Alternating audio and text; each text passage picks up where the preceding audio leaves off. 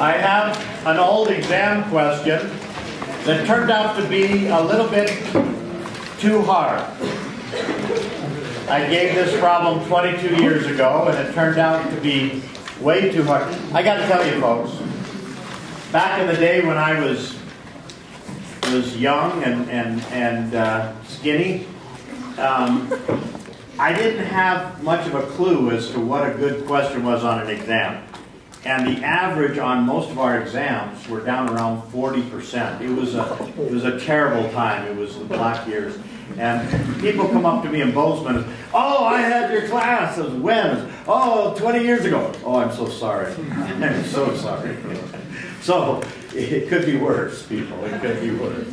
Now, because this problem was difficult, it turns out to be a wonderful teaching problem. And so that's what we're going to do, and we'll be grateful that it's not on our exam. What we have is a column of air that is four and a quarter meters long. We have a cylinder that's five meters long, and we adjust the length of the air column by putting water in the bottom.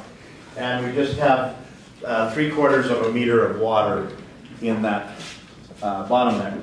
Now the first part of this problem asks us to find the fundamental frequency F1. Now folks, I cooked all the numbers in this problem so that they would be easy, so that they would work out really, really nice if we assume it's a little bit cold today. Okay? So what we're going to do in this problem is instead of taking 343 meters per second for the speed of sound, we're going to round that down to 340.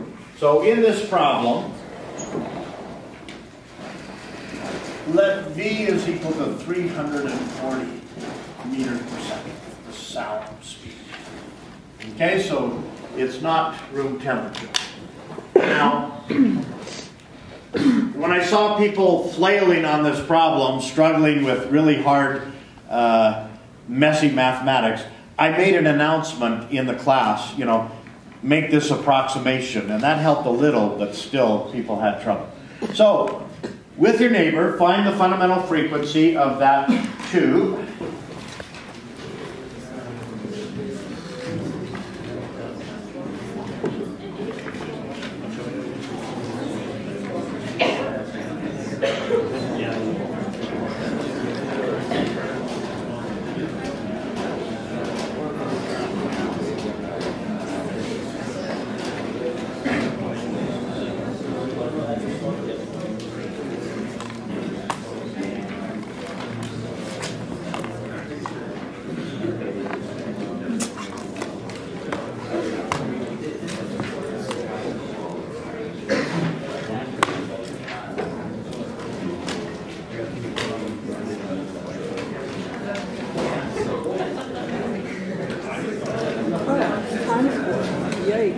Okay.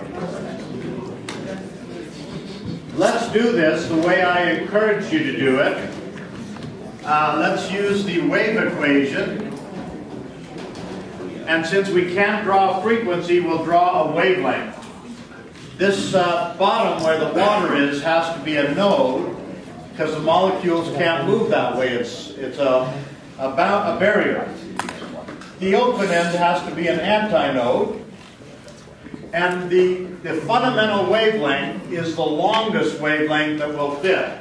And it's the one that goes straight from a node to an antinode, like that. Now, that's only half a football. It takes two footballs to be a wavelength. And so that means a wavelength, my lambda, is four times the length of that half football. Now, if if that didn't speak to your soul, just use this equation. Number of footballs times lambda over 2 is equal to the length of the system. I've got half a football there times lambda over 2 is equal to 4.25 meters. That means lambda is equal to 4 times 4.25 meters or 17 meters. I bring that up here and I say 340 meters per second is equal to F, it's the first harmonic, times 17 meters. That gives me F1 is equal to 20 hertz. See if your neighbor got 20 hertz.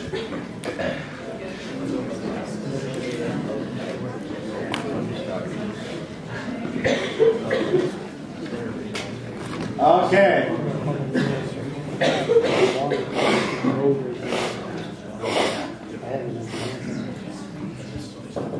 So first we found the fundamental wavelength. We, we drew a picture of it. We recognized that it was one-fourth of a wavelength. So we multiplied the length of the air column by 4, got 17 meters, and that's what got us the 20 hertz. Now, if I were to just blow air across the top of this air column, making white noise, 20 hertz is a sound that would resonate. And we might or might not hear that because it's right on the edge of, of human hearing. Uh, but still, that would resonate um, in the tube. What that means is that if I brought a tuning fork that was 20 hertz, I could excite the fundamental. Now, if I brought a tuning fork that was 40 hertz, would I get an echo? Would I get a, a booming sound out of that air column? No. Why? Yeah, only the odd harmonics are going to resonate with this system. So this would not, but if I did 60 hertz, it would resonate, and it would resonate with the third harmonic, and that would then look like like that. Now, in the next part of the problem, we take a tuning fork that has a frequency of 340 hertz, and we ask which harmonic is going to resonate with that uh, tuning fork. Which harmonic is going to resonate with that tuning fork?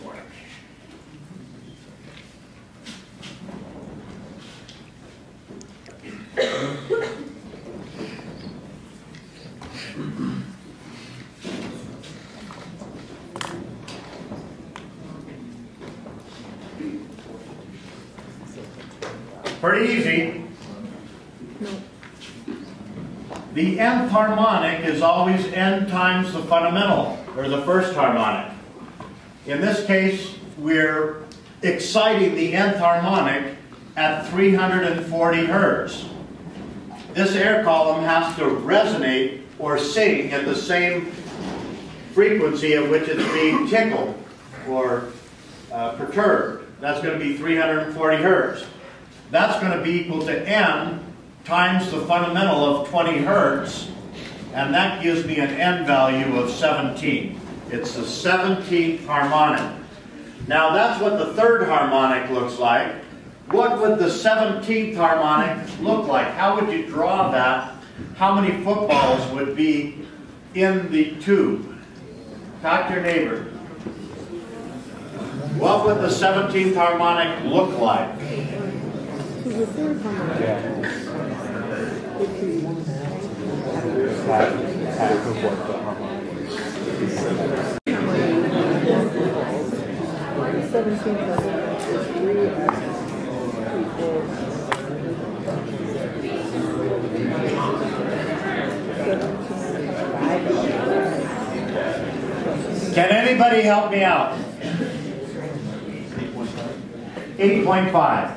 Excellent. How did you get that?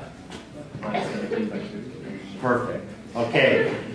If the third harmonic has three half footballs, and the fifth harmonic has five half footballs, and the seventh harmonic has seven half footballs, then the 17th harmonic has 17 half footballs.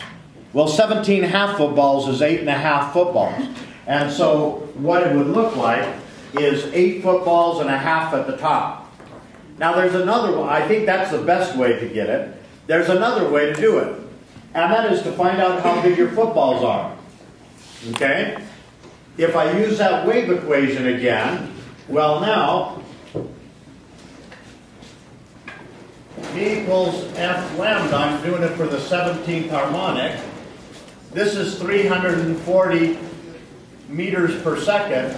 This is 340 hertz. that makes lambda 17 easy to calculate. It's one meter. But that's two footballs. A wavelength is two footballs. And so that means one football is half a meter. And so the other way to do it is just ask yourself, how many half meters do I have in four and a quarter meters? Eight and a half. Eight and a half. You just set up a proportion? You could do that too. You Set up a proportional. That's all I'm doing is proportional reasoning. Yeah? Now that's going to look like that. Okay? One, two, three, four, five, six, seven, eight, ni- eight and a half. Now, folks, the reason this echoes, the reason that this gives me a booming sound, is because it fits the boundary conditions. Namely, a node at this closed end and an antinode at the open end. Now, if I lower the water level a little bit, that goes away. These footballs are tied to that frequency. Okay? And so if I lower this water just a little bit, that frequency no longer resonates with this air column. The, the echo goes away.